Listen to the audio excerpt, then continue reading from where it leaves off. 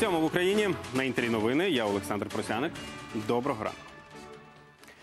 Київ пропонує повернути російську сторону у спільний центр із контролю та координації у зв'язку зі збільшенням кількості обстрілів з боку незаконних збройних формувань.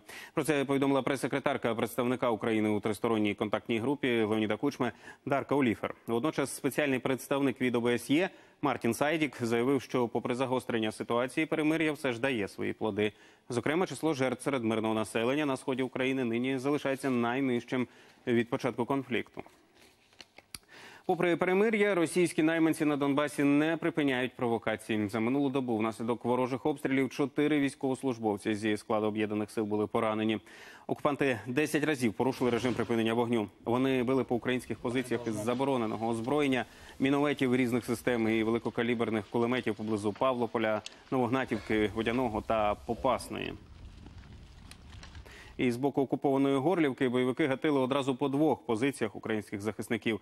Неспокійно і на Луганському напрямку. Ігор Левинок із передової. У нас два трьохсотих за три доби. Тож армійці, коли чують про якесь там перемир'я, лише іронічно посміхаються. Насправді ж кажуть, тут зовсім не до сміху. Щодня, а особливо щоночі, відбувається таке перемир'я, що його чутно за кілька кілометрів. Днем тиша, ночью начинаются пострелы, потом опять передышка, там полчаса, то и опять начинаются пострелы.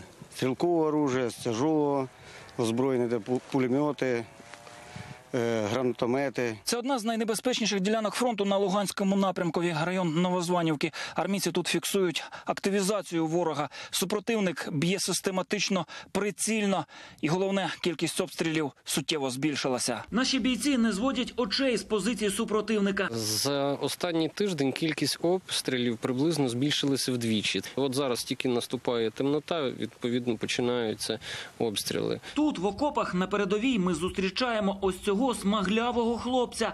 Ахмед – суданець з Північної Африки, хоча вже понад 10 років мешкає під Полтавою. Двоє діток, дружина українка. Другий рік на фронті. Цілком усвідомлює, чому він тут. За земля и, и за один Украина воюем. И, и против России мы воюем. То есть это агрессия российская. В Україні Ахмед вивчився на інженера, мав пристойну роботу. Дружина відмовляла, та він пішов воювати, бо ж не зі слів знає, яку загрозу для країни становлять сепаратисти. Каже, в Судані теж війна. Ахмед запевняє, коріння вже пустив в Україні, тож битиметься за цю землю, скільки вистачить сил. Ще не померла Україна, е, ні слава, ні, ні доля. Е, Ще ми браті українські, е, сміхнеться доля. З Луганської області Ігор Левинок, Вадим Ревун, Антон Чиженко. Новини телеканал Інтер.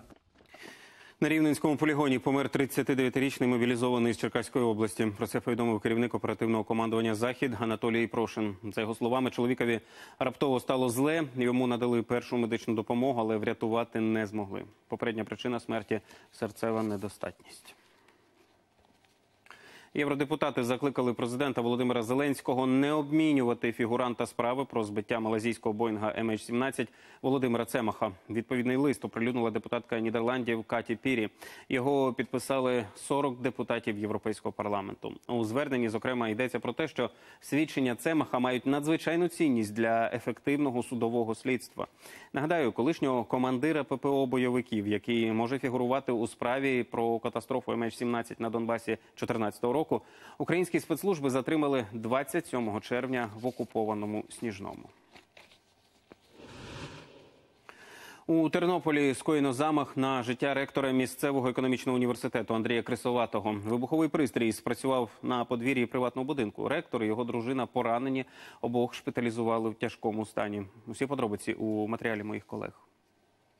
Близько восьмої ранку ректор Тернопільського національного економічного університету Андрій Крисоватий вийшов зі свого будинку у селі Петриків і помітив у дворі пакет, схожий на подарунок. Він підняв знахідку і потім прогримів потужний вибух. Чоловікові розірвало кисть лівої руки. Постраждала і його дружина. Вона була поруч. Подружжя терміново госпіталізували до реанімації університетської лікарні. Прогнози медиків невтішні. Стан важкий, надається зараз допомога, вони в операційній. Андрію Крисоватому 53. Все життя він працює в Тернопільському національному економічному університеті. З 2013-го очолює виш. Та відомий ректор не стільки освітньою діяльністю, як мільйонними статками. Згідно з декларацією, Андрій Крисоватий володіє елітними іномарками, земельними ділянками, нерухомістю у Буковелі, будинками в Тернополі та квартирою в історичній частині Києва. Загалом нерухомості більше ніж на 2 мільйони доларів. Сам Крисоватий запевняє, заробив усе консультуючи різні фірми, як правильно здійснювати податкове планування. У поліції вже встановили вибухівку біля хвіртки потерпілого. Невідомі встановили близько другої ночі. саморобний вибуховий пристрій. Працював за рахунок детонації, на наш погляд. Е, е, На жаль, мав в собі вибуховий пристрій, уражаючі елементи у вигляді алюмінієвих дротів, а також кусків цвяхів, інших деталей, які е, були е, явно направлені на спричинення тілесних ушкоджень і, можливо, і вбивства потерпілого. Біля вибухового пристрою була записка зловмисника «Мементо море». Тобто пам'ятай про смерть. Саме тому правоохоронці припускають, що це був замах на вбивство. Щодо мотивів розглядають відразу кілька версій. Особистий конфлікт, громадська і професійна діяльність потерпілого та вимагання коштів. Колеги потерпілого кажуть про погрози і конфлікти ректора нічого не знають. Ні, ні погроз не було, ні е, я думаю, що не пов'язано з роботою. Ми з ми в останні дні спілкувалися тільки по роботі. У поліції за фактом замаху на ректора університету відкрили кримінальне провадження за статтею «Замах на вбивство». Олена Зоріна, Жанна Дучак, Зиновій Автонас. Новини. Телеканал Інтер. Тернопільська область. У Варшаві затримали трьох українців, які буцімто збиралися влаштувати теракт під час урочистостей з нагоди 80-ї річниці початку Другої світової. Про це повідомляють місцеві змі. Затримані двоє чоловіків і жінка. За даними поліції, вони оприлюднили у мережі відео, в якому погрожували атакою. Як саме хотіли це зробити, поліції не повідомляють. Усіх трьох затримали за місцем проживання. Там у них виявили і вилучили зброю. Щоправда, не вогнепальну. Палата громад британського парламенту підтримала законопроєкт, який забороняє уряду виходити з ЄС без угоди. А отже, передбачає продовження терміну Брекзиту.